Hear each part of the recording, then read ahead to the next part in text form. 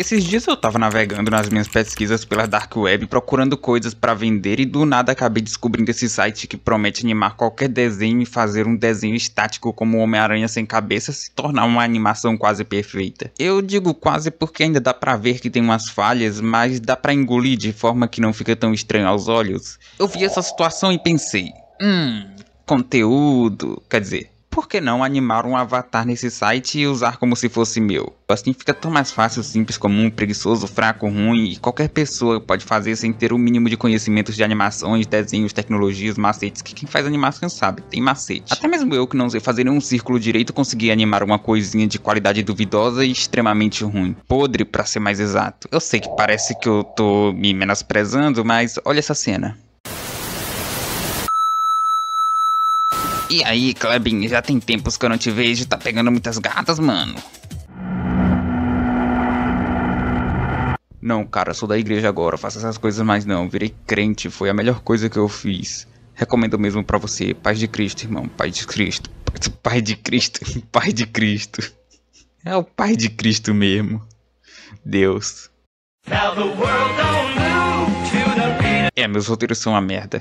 Eu gosto de vários youtubers que têm seus personagens, seus avatares e usa eles para fazer vídeos, animações, pôsteres, lives. Fica uma coisa tão interativa que às vezes dá até vontade de ter um também. Mas eu nunca criei vergonha na cara para pagar um profissional para fazer uma arte para mim. É, desvantagem de ser pobre. Acho que vocês já devem ter percebido há um tempo, mas eu tô usando o Professor Carvalho de Pokémon como personagem e na real eu até gosto dele, mas dá para melhorar, eu acho. É, é, é isso que tá na thumb e no título. Eu vou tentar fazer um avatar pro meu canal usando inteligência artificial. E até rimou. Bem, eu achei esse site que promete animar qualquer personagem que eu botar aqui, tem um monte de animações, então eu vou pegar esse avatar do Professor Carvalho que eu tirei do Google e fazer uma animação.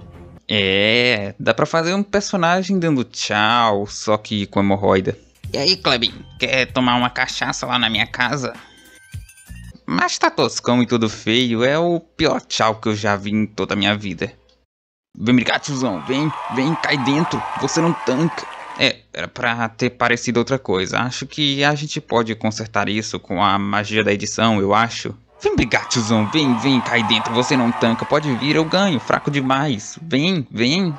Mas vocês já viram alguém sem pernas andar ou fazer uma dança maluca? É estranho, mas agora pular é o cúmulo da hipocrisia. Esse site não é Jesus, então bora parar. Mas de vira e mexe ainda tem uma ou outra coisa legal, mas as aberrações eu acho.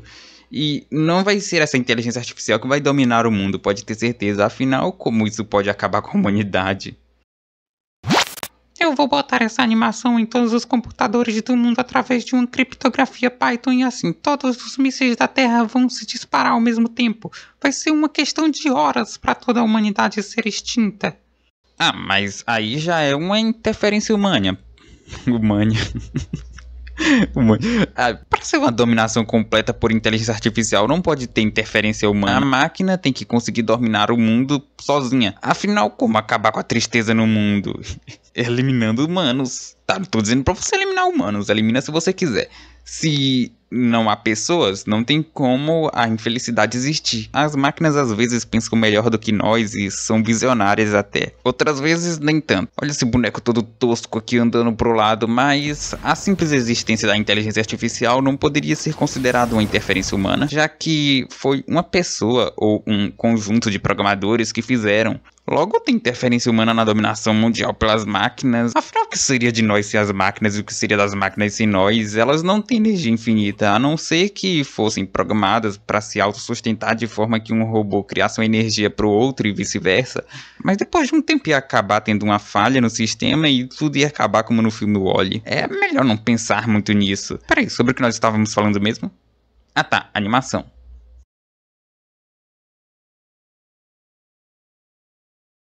Cansei. Para fazer uma animação é simples, basta pesquisar MetaDemoLab no Google, jogar uma foto dentro do site, fazer um esqueleto da coisa. É, para quem não sabe, tem que fazer um esqueleto para simular o movimento e depois é só escolher uma animação. Olha as animações aqui.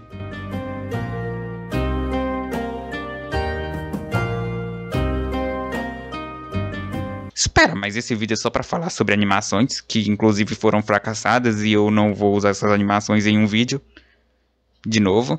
Ficou tosco, todo deformado, mas e agora? Eu tenho que fazer um vídeo de 8 minutos.